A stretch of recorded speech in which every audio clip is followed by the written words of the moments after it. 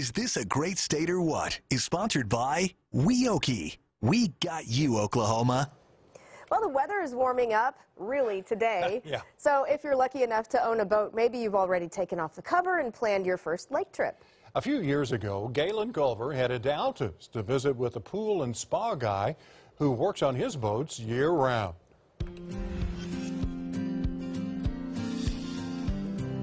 His working winter measures to the very end of an age when every boat was made out of wood. I can always do some measuring here. Clay Thompson is a pool and spa guy in the summer, but his creative currents flow toward mahogany and oak in winter. So I'm just kind of all, all about the wood boats. The building blocks of wood pleasure boats that he can actually save. I can use it and enjoy it, get it back in operation again.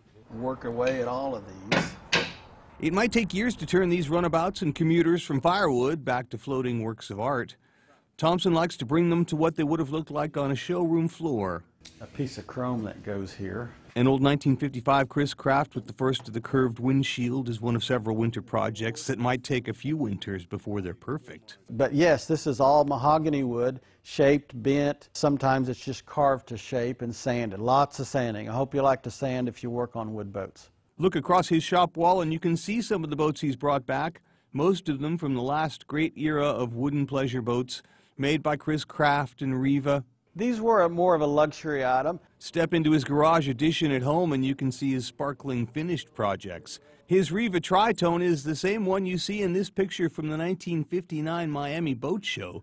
The zebra and turquoise was factory issue that year. Everything that should be the way it came as it sat on the showroom floor. His pride and joy, though, is this old Chris Craft runabout that looks fast just sitting still. It's kind of my baby here. The rest await just the right person, hypnotized by the deep reds and bleached yellows of shaped wood, floating pieces of art when they were made, and even more so now. In Altus, Galen Culver News 4. Is this a great state or what?